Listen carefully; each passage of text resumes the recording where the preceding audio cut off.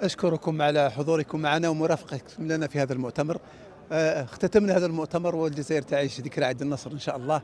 سيكون هذا المؤتمر إضافة للجزائر.